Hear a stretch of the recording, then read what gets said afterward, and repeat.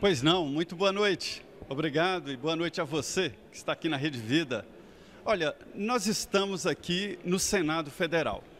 Este é o chamado túnel do tempo, projetado assim, longo na penumbra, para os senadores terem um tempo de pensar entre os gabinetes e aqui o plenário do Senado Federal.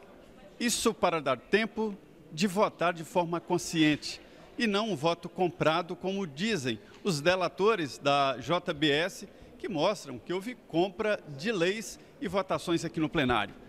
Mas olha, definitivamente nós não estamos num tempo de temperança, de paciência, e sim de agressividade e crise.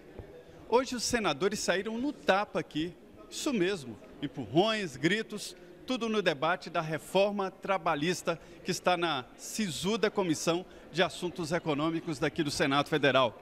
O PSDB contra a oposição, tendo a polêmica reforma trabalhista como debate. Olha, a crise acaba tendo o Congresso Nacional como caixa de redundância e isso se multiplica por aqui. O presidente Michel Temer já tem como estratégia política fazer o Congresso Nacional funcionar dando a impressão de que o governo está bem e que tudo está funcionando. Mas não está, não. O PSDB e o DEM ainda avaliam se continuam apoiando o governo.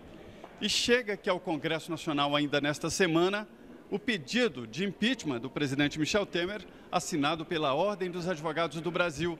Enquanto isso, outros 15 pedidos de impeachment estão na mesa do presidente da Câmara, o deputado Rodrigo Maia. É assim mesmo, o Congresso Nacional acaba sendo o anteparo de todas as crises.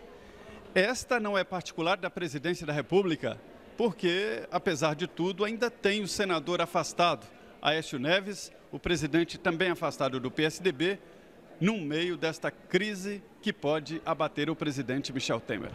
São tempos difíceis. De Brasília, José Maria Trindade para o Jornal da Vida.